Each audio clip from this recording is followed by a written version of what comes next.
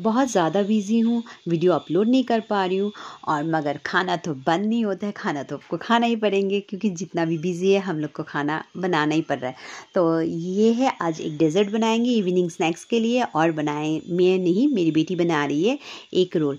तो मैंने पहले चीनी को ले लिया है यहाँ पे हाफ़ कप जैसा चीनी है। आप अपने मीठा जितना हिसाब से आपको खाना है, उस हिसाब से लेना है। तो चीनी को पहले पानी वानी कुछ भी नहीं डालना है। खाली चीनी को ले लेके आपको गर्म करना है। धीरे धीरे वो पूरा मेल्ट हो जाएगा। आपको बहुत ही ध्यान से इसको मेल्ट करना है, वो नीचे से ना जले। जैसे पूरा चीनी मेल्ट हो जाएगा, तब आप देख सकते हैं इसका कलर गोल्डन कलर हो गया। और थोड़ा सा गोल्ड करना है, ज़्यादा भी मत करिए तो करवा हो जाएगा। हल्का गोल्ड हो जाए, उसके बाद आप इसको फ्लेम को एकदम लो कर दीजिए और हम लोग इसमें मिल्क ऐड कर देंगे। वन एंड हाफ़ कप आप मिल्क ऐड कर देना इसमें और फिर आप देखो चीनी, पूरा बबल्स आ गया चीनी में और ये आपको बहुत ही लो फ्लेम में करना है और आप देखो इसका कलर भी चेंज हो गया। ये जो है चीनी का ये शिरप बना रही हूँ और बहुत ही कैरमल शुगर है ये। बहुत ही टेस्टी होता है, इसका फ्लेवर बहुत ही अच्छा लगता है खाने में। तो ये आपको बनाना है। आपको डरना नहीं है, ये होल हो गया, बड़ा सा एक बॉल्स हो गया, वैसा कुछ भी नहीं है। ये धीरे धीरे मेल्ट हो जाएगा। आप देखो, ये ऑलरेडी मेल्ट हो चुका है। अभी मैं एक कप ले लूँगी, उसमें आप साइड करके इसको डाल के रख दीजिएगा। ये बहुत ही टेस्टी है शुगर सिरप का जैसा है। और फिर मैंने घी ले लिया और शेमिया ले लिया। शेमिया को अच्छी तरीके से हम लोग भून लेंगे।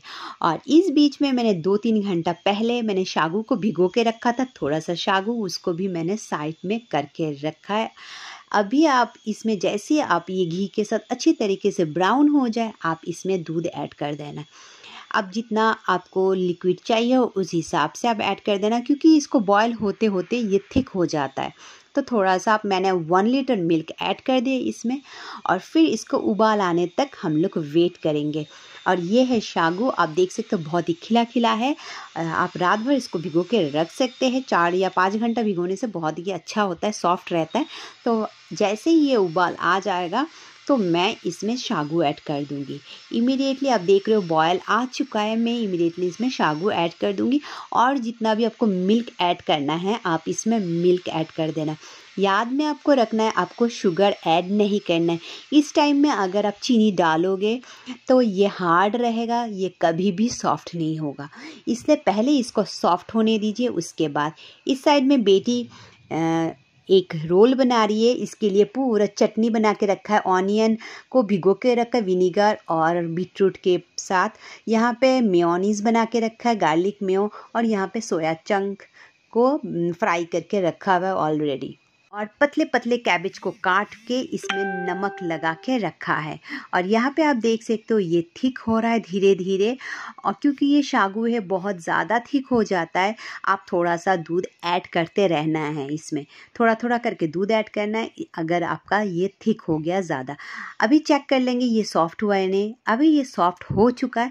जो हम लोगों ने शुगर को बना के रखा है, कैरमल ये अभी ऐड कर देंगे। जैसे आप ऐड कर दोगे, इसका फ्लेवर में इतना चेंजेस आप मीन्स सोच भी नहीं सकते हो। ये इतना टेस्टी हो जाता है, इसका फ्लेवर ही डिफरेंट हो जाता है।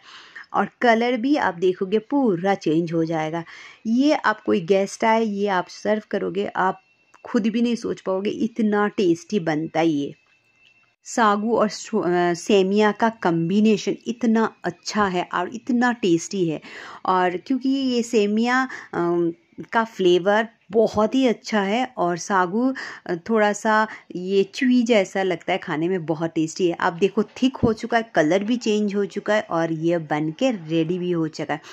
मैंने थोड़ा सा इलायची कूट के डाला है और बेलीफ डाला है इसमें फ्लेवर के लिए। आप इसमें घी में रोस्ट करके ड्राई फ्रूट्स डाल सकते हैं इसमें फाइनली चॉप करके बाद में गार्निशिंग के लिए। मैंने कुछ ऐड नहीं किया क्योंकि ऐसे ही ये बहुत टेस्टी तो अभी मैंने मैदा का रोटी बना रही हूँ इसमें। तो रोटी मैं, आप अगर मैदा नहीं खाते हो तो आप आटा का रोटी बना सकते हो। बहुत ही पतला सा रोटी बनाना है। अच्छी तरीके से बड़े बड़े थोड़ा सा साइज़ बनाना है। उसके बाद इसके ऊपर हम हम लोग गार्लिक का मेव लगा देंगे। अब देख सकते हो यहाँ पे गार्लिक का मेव लगाया हुआ है। सोया चंक को अच्छी तरीके से हम लोग ने पुदीना, धनिया, जीरा और मिर्ची ऑयल डाल के इसको अच्छी तरीके से हम लोग फ्राई कर चुके हैं इसको और फिर ये भी हम लोग ऐड कर रहे हैं। ये चिकन के साथ बहुत ही अच्छा लगता है। मगर आज मैंने सोया चंक के साथ बनाया है और फिर जो कैबेज हम लोगों ने सॉल्ट लगा के रखा है, ये कैबेज आप डाल दो।